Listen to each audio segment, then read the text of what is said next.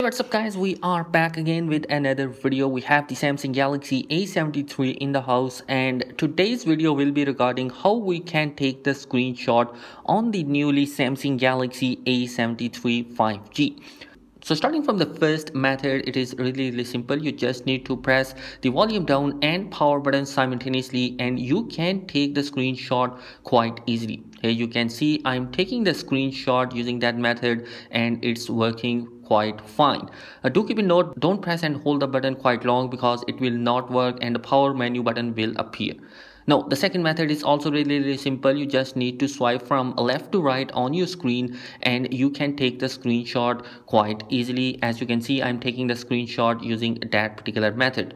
If that method is not working for you you just need to open up your setting scroll down towards the advanced features and in here you will find out an option for motion and gesture. Just tap on that and at the bottom you will find palm swipe to capture. If that toggle button is turned off turn it on and you can now take the screenshot screenshot using that particular method.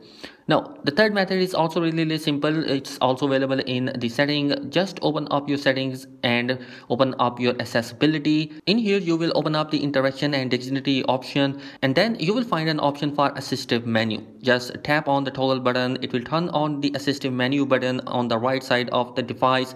Just tap on that assistive button and you will find out an option for screenshot just tap on that and you can take the screenshot quite easily using that particular method. So guys that is it in this particular video. I hope this video has helped you out in some way. Do consider subscribing my channel for daily tech video. Thanks for watching. Be sure to subscribe.